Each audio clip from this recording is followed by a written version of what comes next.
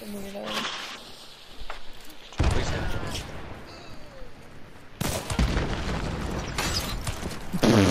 hit her with my uppercut and stuck her with my bomb lance.